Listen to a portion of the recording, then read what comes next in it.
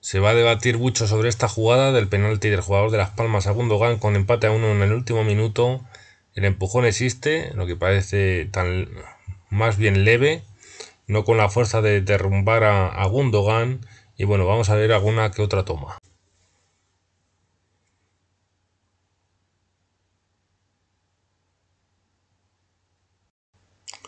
Y bueno, el empujón parece leve, aunque al hacerlo en velocidad pues sale volando Gundogan, que además pidió tirar el penalti. Bueno, en mi opinión, pues hay dudas, es una jugada de gris de si hay penalti o no, pero si el árbitro lo pita, pues el VAR ahí no se mete.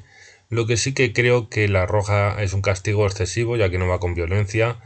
Pero al ser el último jugador, pues han dicho que, que era roja. Demasiado castigo para Las Palmas, que se mereció puntuar.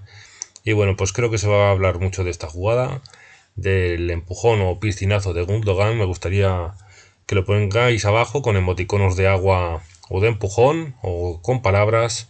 ¿Qué opináis vosotros? Yo creo que se va a abrir bastante el debate esta semana con esta jugada polémica de un penalti muy gris eh, en el Las Palmas 1, Barça 2.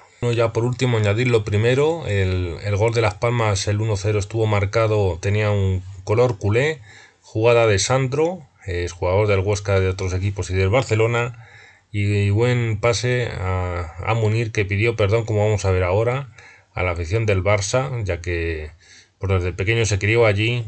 Y bueno, luego, pues con alegría celebró el tanto, pero lo primero que hizo fue pedir perdón.